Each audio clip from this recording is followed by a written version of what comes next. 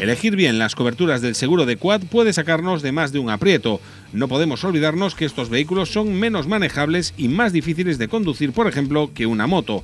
Un movimiento brusco del manillar o una curva tomada más deprisa de lo deseable puede acabar en accidente.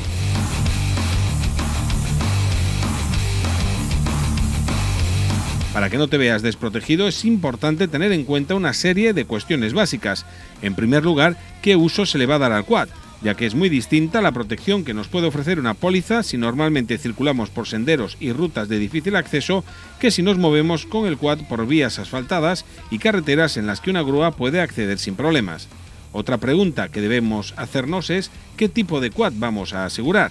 En el mercado existen diferentes tipos y cada uno de ellos presenta unas prestaciones mecánicas diferentes en términos de potencia, estabilidad y velocidad.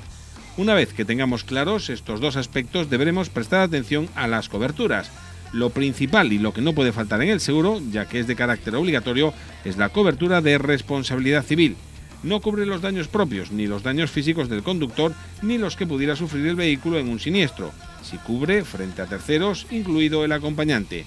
A mayores podemos contratar la garantía de responsabilidad civil voluntaria que amplía hasta los 50 millones la indemnización en caso de accidente. Interesante es también el seguro de accidentes del conductor. Nos garantiza una indemnización por accidente y la cobertura de la asistencia sanitaria. En función de las compañías, la cantidad asegurada puede variar y son diferentes los servicios asociados. Por eso hay que leer la letra pequeña la cobertura de incendio y robo, de casco y equipamiento, la asistencia en carretera y la defensa jurídica pueden hacer más completo el seguro de tu.